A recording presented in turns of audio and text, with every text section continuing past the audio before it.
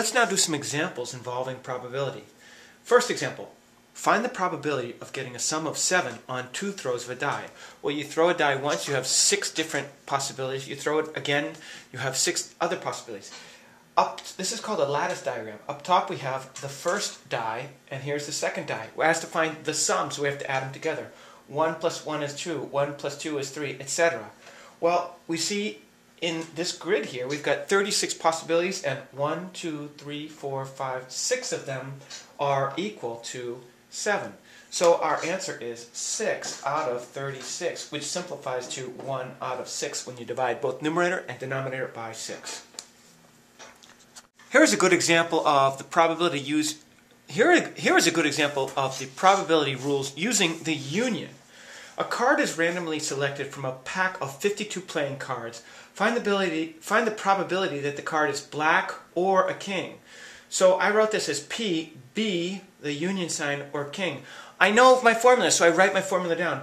Probability B union king is probability of black plus probability of king minus that overlap, probability of black and king. Well, probability of being black, 52 cards, half of them are black. It's 26 out of 52. Plus, probability of being a king is 1, 2, 3, 4. We have 4 kings out of 52. Now, if I count that, I'm counting 26 and then 4. Notice I've counted these cards, these black kings in the middle, twice. So I have to subtract that out. Minus, there's 2 that I have to subtract out. This will give me a total of 28 out of 52, which of course you can write as a percentage or simplify to 7 out of 13. Continuing with our prob uh, probability problems, here's a very straightforward question that's asking you, do you know your formulas? If the probability of A is 0.6 and the probability of B is 0.3, and the intersection of A and B is 0.2, find the probability of A union B. Well, you have to know that that's probability of A plus probability of B minus probability of A intersection with B, which is as simple as 0.6 plus 0.3 minus 0.2, which is 0.7. Find the probability of the complement of B. Well, if we know that the probability of B plus the probability of its complement add up to 1. So therefore, the probability of the complement of B is equal to 1 minus the probability of B, which is 0.3.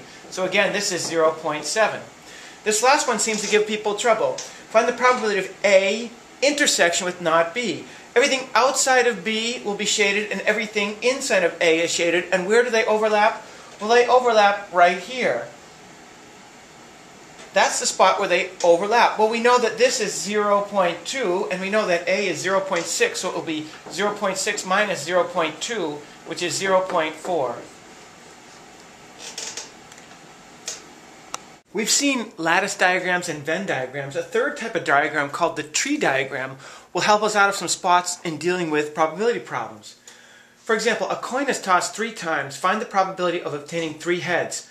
To me that says, let's draw a tree diagram. Here's my first toss, head or tails. At each branch, our probability is equal to 1. So I have 0.5 and 0.5. At every single branch, because we're tossing a coin, our probability will add up to 1, 50% or 0.5 to heads, 50% or 0.5 to tails.